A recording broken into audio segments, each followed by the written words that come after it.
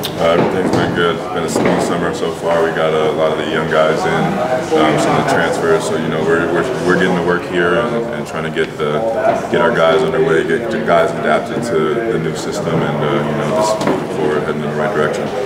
I mean, what's it like for you knowing that you know Dusan's gone, DeAndre's gone, probably going to be starting center? How do you approach that going into the summer? Um, for me, it's kind of been a long time coming. Um, some would say, I mean, for me, it feels like I really haven't played in almost three years. So uh, getting an opportunity now, um, I feel like my table's kind of set, and uh, it's going to be a great opportunity for, for everybody this year to kind of step up and, and, and show show their worth, show their value on the court. And, uh, we got a lot of great guys, so it's going to be good for everybody to get their uh, their opportunity. What are some of the biggest things you took away from that year away from basketball?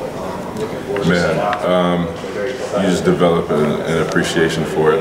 You know, when, when you're not allowed to play to play the game, you, you kind of the, the amount of appreciation you have um, being away from getting on the court and actually playing in games. I feel like that's the biggest thrill of uh, playing the game of basketball.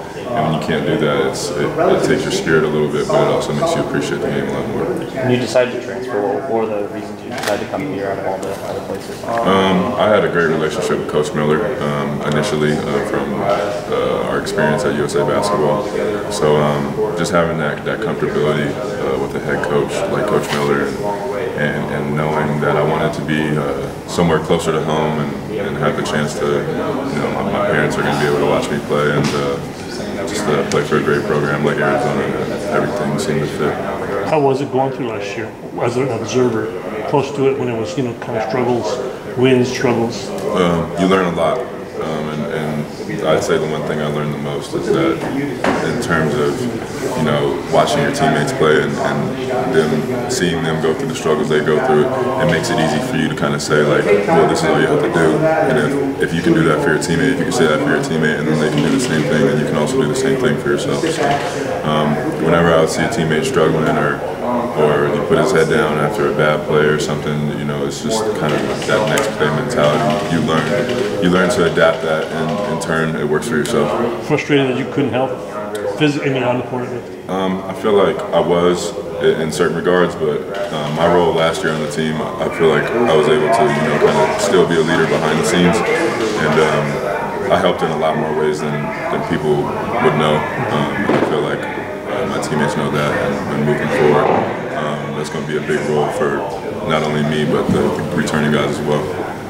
What do you learn going up against DeAndre Ayton every day in practice? Uh, DeAndre is he's a hell of a player, and um, you know going up against a guy like uh, DeAndre every day and, and, and, dealing with his strength and his physicality and his skill set, you know, it, it, forces you to improve. So um, going against a guy like him every day and, and Dusan as well, um, guys like that, you know, it, forces you to get better, and uh, that's that's exactly what I did. How have you changed as a player since your time at Duke? Um, just, I think the biggest thing is confidence. Um, my opportunity at Duke um, was limited, so when I got here, um, there was no, you know, no stress. Um, my confidence was through the roof, and I think the biggest thing moving forward for me is that um, I'm confident and I'm secure with who I am as a player, and moving forward, I know that. I know you had some back issues when you were there. How are you doing now physically? I haven't had a back issue since I've been at Arizona.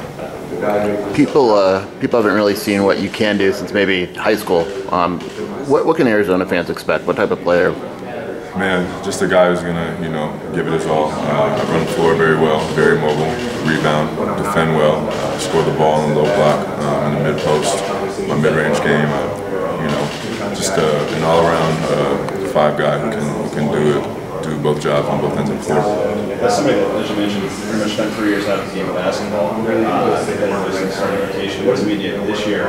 Arizona losing its top six scorers and really be counted on to be that guy who's going to have 35, 38, 40 minutes a game.